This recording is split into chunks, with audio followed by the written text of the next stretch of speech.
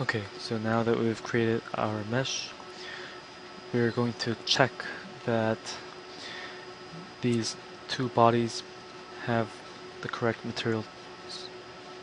So we expand geometry, and for these two bodies, we're just going to confirm that it uses structural steel. So that's fine.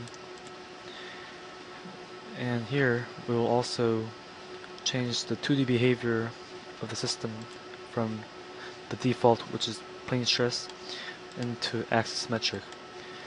Now, we note that this axisymmetric option, the default in Ansys is the axis of symmetry is about the y-axis, so it will be revolved around the y-axis.